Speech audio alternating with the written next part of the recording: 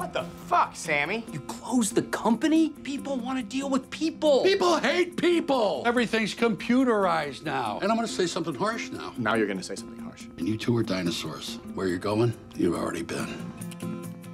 Listen, I got it. I've seen the future and it's beautiful for us. Google. You got us a job at Google. Oh, it's an internship. You're interns? You're so old, though. This will not be your average internship. You will be divided into teams. Only one team will be guaranteed a full time position. We can coattail this bitch. This reminds me of a little girl from a steel town who had the dream to dance. Thank God she believed in herself. Are you talking about Flashdance? Having a beer with your boss. You get high? I don't get high. I'm not judging. I'm just saying.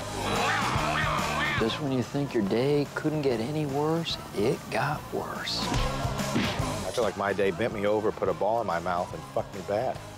Het was een briljante vergissing hen in te huren. Vince Vaughn en Owen Wilson in The Internship.